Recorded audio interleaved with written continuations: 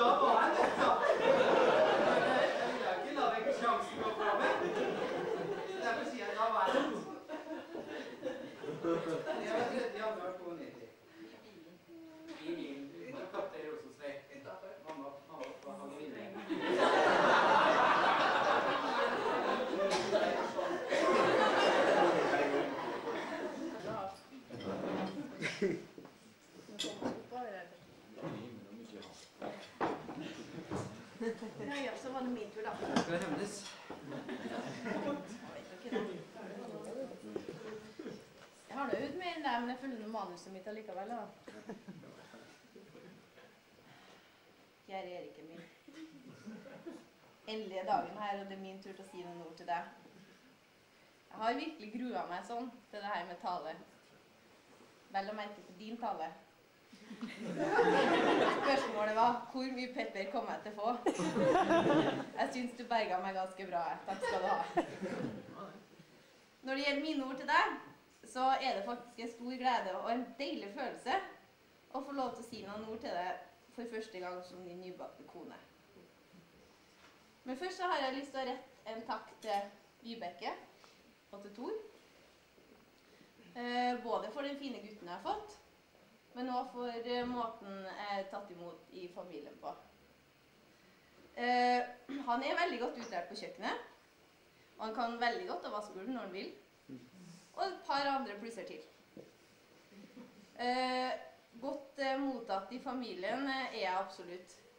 Tor, du var tidlig frempå med lanken og klappa på kinnet. Hadde ikke vært på mange besøk i Kaptein Roses vei før du gjorde det. Det gjorde du i går òg. Vibeke, du var litt mer reservert. Og jeg må nok innrømme det at for ei trønderpie fra landet, så var nok du som, som kone fra Bergen litt streng. Men det tok ikke så veldig lang tid å se at eh, Erik han har veldig mye omsorg og godhet som han har arva fra mammaen sin. Jeg ser frem til mange hyggelige turer, spesielt til Oppdal. Der har vi hatt det veldig fint sammen. Jeg ser frem til flere interessante diskusjoner. Men jeg skal komme med et lite løfte. Jeg skal prøve å ta de mest prinsipielle diskusjonene med dere videre etter at Vibeke har gått til land. Husker du det? Fra Åsefjorden. Første gangen jeg hilste på Tone, da hadde vi en lang runde på det, jeg og Tor. Det har vært mye prinsipper etter hvert. Eh, og så en takk til kjære mamma og pappa. Jeg tror ikke det er noe vanskelig å forstå at jeg setter veldig stor pris på de oppvekstkårene som jeg har hatt. Eh, bodde mine første år her på Steinan med mormor og bestefar i kårhuset. Nei, i hovedhuset, og vi sjøl bodde i kårhuset. Vi har bodd noen andre plasser underveis, og det har naturlig nok ikke vært nevnt, for det er steinene som har betydd noen ting hele veien. Eh, Når det gjelder oppvekstkår, så er det ett prinsipp som både meg og broderen har nytt veldig godt av, og det er åpent hus-prinsippet. Det er ikke feil når pappa sier at jeg tror de kjenner alle våre venner veldig godt. Jeg må si for en tålmodighet de har hatt både med rot og mye sko og jakka, og ikke minst læreren leven på fredagskveldene når vi fikk bruke eh, bruk eh, kjellerstua. Sikker på at pappa satt og hoppa i stolen over. Ikke, de sa ingenting, så det setter jeg veldig stor pris på. Jeg tror ikke jeg kan skryte av at jeg har hatt så veldig streng opplevelse. Det syns jeg òg var helt greit. Så det er et prinsipp som jeg har lyst til at vi to skal prøve å videreføre.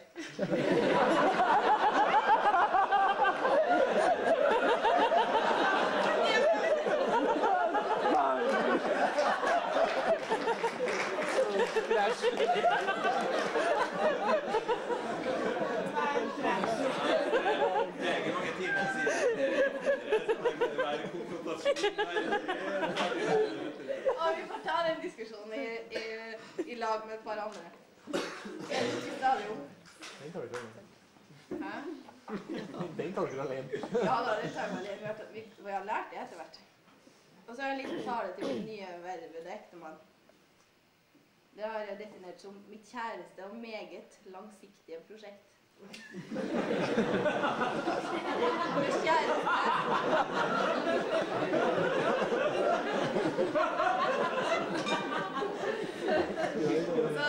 vi har i hvert fall den samme oppfattelsen av hvordan det foregår. Min kjæreste, samboer og nå ektemann. Nemlig for etter å ha gått en runde på vår felles historie, så kunne jeg ta en annen ting og definere det som et langsiktig prosjekt. Du var utrolig seig å få på kroken.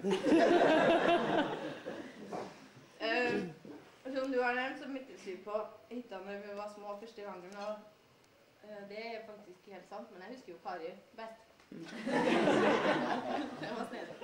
Men neste gang, neste, gang vi, neste, gang, neste gang vi møttes, det var på en benk på Dragvoll, på Universitetet på Dragvoll.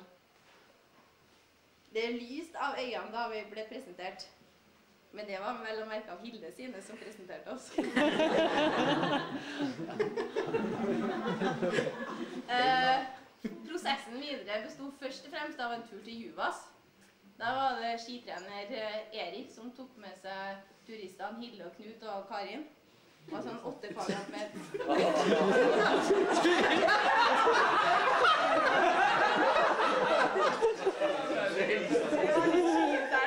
Du må ha turister i den sammenhengen, for så mye lenger vi enn kan Erik gjorde. Ja. Men det var i hvert fall dere vet sånn der eh, åtte kvadratmeter hytte med fire køyesenger og åpent kjøkken og dusj og do på andre sida av gårdsplassen og sånn der. Da var det gjort for min del, Erik. Du var en kjekk skitrener.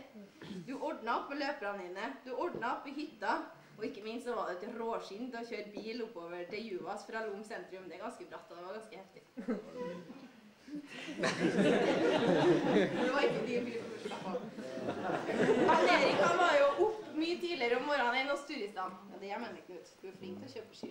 Eh, og det er ikke fritt for at eh, frøken Hogstad lot seg sjarmere allerede da av en snerten Widerøe som sto i underbuksa og skifta mens hun trodde vi andre sov.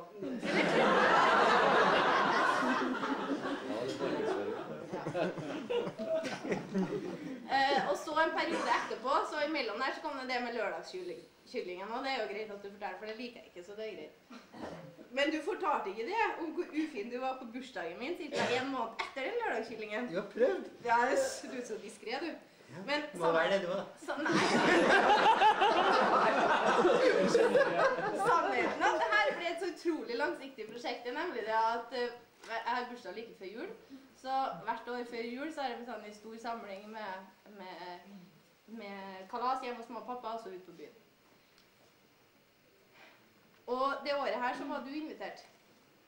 Jeg tror det var første gangen. Det var første gangen. I hvert fall så Etter å ha vært hjemme hos mamma og pappa en stund, så havna vi på Bajosso. Vi havna på dansegulvet. Og vi gjorde noen ting som verken jeg eller du vanligvis bruker å gjøre når vi er ute på byen. Vi sto nemlig og klina på dansegulvet. Du skulle gå og hente en øl. Du syns at du skal skjemmes. og så lot han at du skulle komme, han skulle komme fort tilbake. Ja, jeg snubla. Ja, Han snubla i ei som heter Gudrun.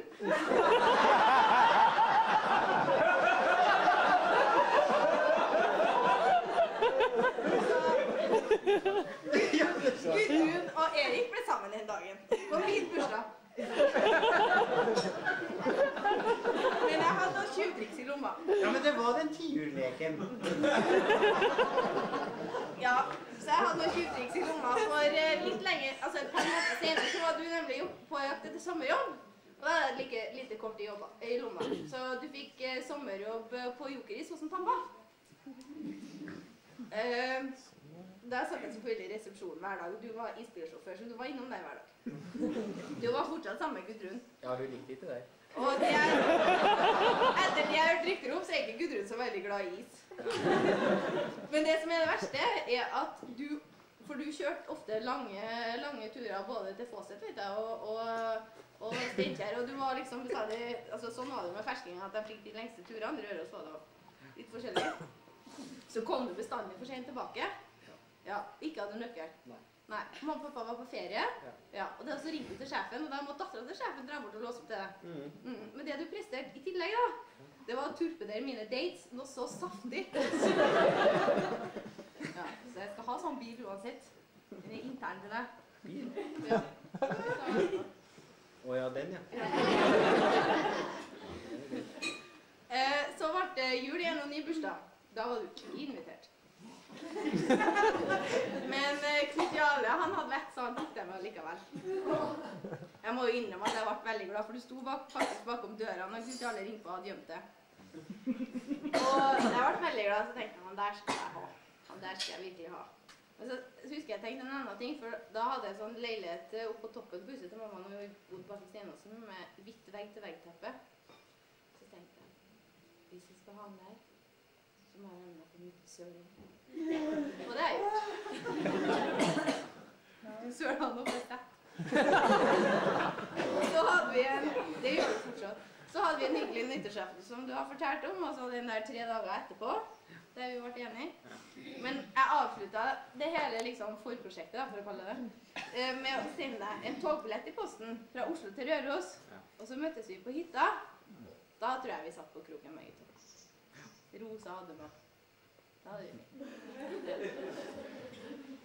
Du har veldig mange gode kvaliteter, Erik, så derfor så ble du veldig fort til mitt kjæreste prosjekt. Jeg satt og, jeg har suttet- vi har jo sittet litt sammen nå etter, etter Benedicte og Svein Erik-prinsippet. Sitte på hver sin side av bordet med rød, rødvinsflaske i midten og skrive tall til hverandre. Det var ganske hyggelig. Jeg kom på veldig mye tøttesaker om det, for å si det sånn. Altså gode saker. Når vi var inne på kjerringhelvetesida, så var det vel egentlig mest egne saker som dukka opp i pannebrasken. Merkelig. Du er omsorgsfull og snill. Som du sjøl har nevnt, så har du verdens beste armkrok. Der er det mye kos og prat på høyresida. Når det gjelder å dra på tur, så er det helt fantastisk. Da er bilen lina, skiene knikka, og alt er på plass. Matpakke altså Da snakker vi om kasse med nystekte rundstykker og påsmurt og kaffe og brus og avis og alt det som jeg liker, er på plass når vi drar på tur. Og liksom sånn typisk Erik Brikken av Rino. Vi hadde en uke i Chamonix. Når jeg våkna om morgenen, B-menneske som jeg er, trøtt og greier, så var da badekaret tappa i. Så ble jeg leida til bade, lagt i badekaret. Så gikk hun ut og kjøpte stotra seg frem på fransk. Og kjøpte eh, fersk bagett. Og laga frokost. Som jeg ble gleda ut av badekaret til. Det, det er Erik når vi er på tur. Du er veldig fin å diskutere med. For å få litt perspektiv på vanskelige ting. Eh, Det er utallige runder som vi har hatt eh, rundt Sognsvann i Oslo. Kjører, når det blir litt vanskelig, så kjører vi opp dit, og så går vi runder rundt Sognsvann til vi har snakka oss igjennom det hele. Sånn er det utrolig fint. Vi, vi starter med å gå med ryggen mot hverandre.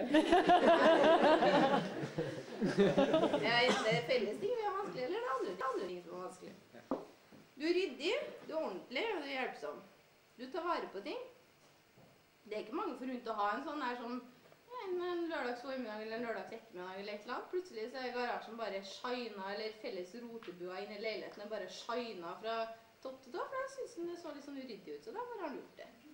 Det er kjemperyddig.